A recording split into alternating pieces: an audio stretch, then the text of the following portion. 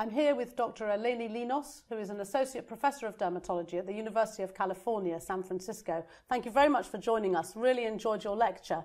Thank you for having it, No, it's, it's terrific. And it's highlighting a very important mm-hmm. problem that we're finding in dermatology, which mm-hmm. is increasing incidence of particularly superficial BCCs and other non melanomatous skin cancers in, in the elder population. And we've not really thought much up until now about the burden of treatment in these patients. Mm-hmm. And and, and tell me a little bit about your experience of the problems that are happening for patients in this group as a result of treatment. Yeah, well, you highlight two very important points. One is that the incidence is going up, mm. and we know that the incidence of skin cancer and basal cell specifically is rising, but also our population is aging. So the, the burden or the number of these cancers is growing. Mm. And so I think um, thinking carefully about optimizing treatment for older adults is going to become a very important thing for us to consider because yes. this is a rapidly growing population that we need to care for. Mm, and it's been a little bit neglected in some ways in terms of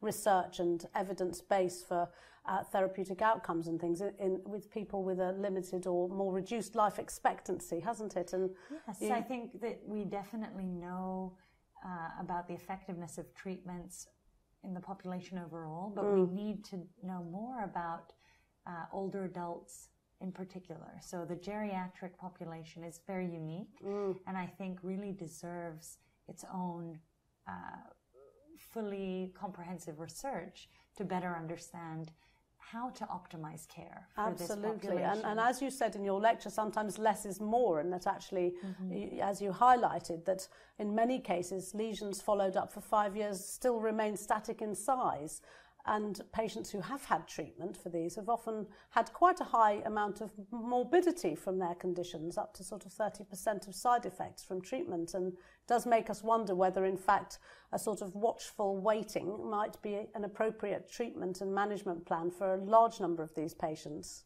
Well, it does make you wonder if active surveillance, active monitoring, mm. um, which is different from not doing anything, it's different Absolutely. from not following um, may be a choice that some patients want to make.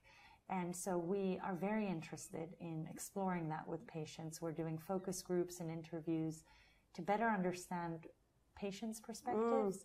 as well as our own perspectives as physicians. Yes, absolutely. And, and you also very elegantly highlighted the need to in, include patients in our shared decision making pathways, particularly at these times at this sort of extreme end of life. Absolutely. Patients should be at the center of these decisions, but of course, caregivers, family members, physicians, surgeons, there are many stakeholders that mm. I think need to join this, this discussion because ultimately we have the same goal. We want to improve quality of life for our patients. Um, and I think we need to keep discussing this issue and keep um, having conversations to move the field forward. Absolutely. Well, thank you so much for thank highlighting for it so, so beautifully today. Thank you. Thank you.